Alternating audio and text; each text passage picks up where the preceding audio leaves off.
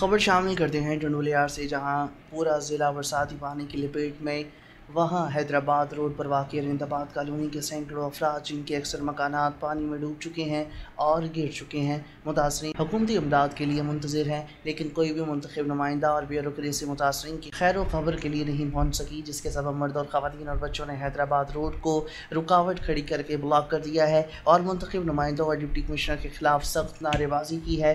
Rail फाटक के सामने बैठे हैं और पूरी कॉलोनी गिर गई है, सारी पानी में कोई हमारे पास आया नहीं है। अब तक अच्छा नहीं हुआ है बरसात को कोई नहीं आया एक बच्चा भी मर गया है अभी घर पूरे घर को हो गए हैं कोई चीज़ नहीं हमारी बत्ती है।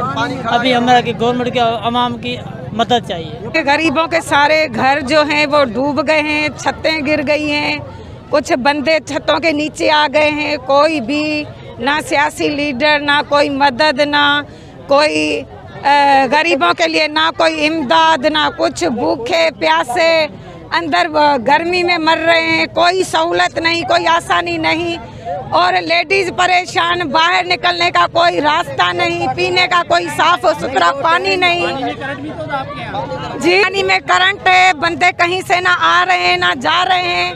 परेशानी है, कॉलोनी में बहुत प्रेस के नुमाइंदे अंदर की वीडियो बनाए और अपनी आँखों से देखे साथी लेके फिर प्रेस के नुमाइंदे जाए।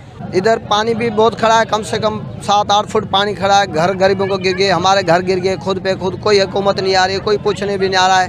कोई इतना भी नहीं आ रहा है, कोई भी नहीं आ रहा है।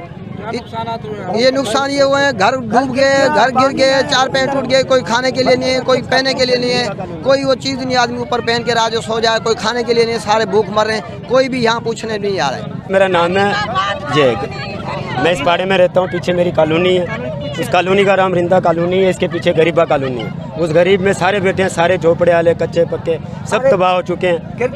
गिर गए बच्चे भी तबाह हो चुके हैं अभी तक। किसी की कोई मदद नहीं आई किसी की कोई मदद कोई मदद भी नहीं आई बड़े भाई। प्लास्टिक वो आई है एक सौ घर सौ घर खराब हुआ हुआ दस दस घरों को मिली। वो किसने दिया वो आप भाई ने दी वो फलाईदारों ने दिए। ये भाई आया दो दफ़ा चावल लेके आया ये भाई लेके आया। कोई हुकूमत की तरफ़ से कोई भाई नहीं आया। और मुतासरी ने कहा है कि एक हफ़्ता हो चुका कोई भी हुकूमती नुमाइंदा हमारे पास नहीं आया। हमारे सैकड़ों घर पानी की लपेट में आ चुके हैं। मुतासरी ने फोकल पर्सन और डिप्टी कमिश्नर के खिलाफ सख्त नारेबाजी की और फौरी तौर पर पानी निकालने राशन के साथ साथ टेंट फराम करने का मुतालबा किया है। Música